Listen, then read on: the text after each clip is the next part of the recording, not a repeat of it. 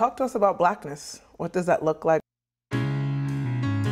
Black people have always been innovators. It's in our nature to innovate. It always has been out of necessity. Survival innovation is the same thing. Someone just said, let's make it a fancy term. We've had to cut our own path, but it's hard. So it needs support. The microaggressions, the overt, the covert racism, all of that can leave a chip on your shoulder. And it can change the way that you show up in this world. When nobody else believes in a black leader, usually their business dies. There are conversations that you can't have with funders. And so for the first time, it was an opportunity to have an honest conversation. But it came at us watching the murder of so many innocent black men.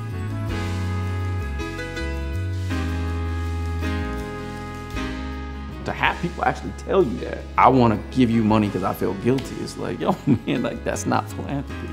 It's not about guilt. It's about recognizing that we need to even things out. We are sitting in a moment in which black people we're the flavor. But look, we always been the flavor. We know we've always been the flavor. It's just that everybody else is discovering that we're the flavor of this moment. Black innovation is happening everywhere. It's always happened everywhere. The question is, do we have access to capital? Do we have access to social capital? Do we have access to the supports and the larger community of belief that we're worthy of investing?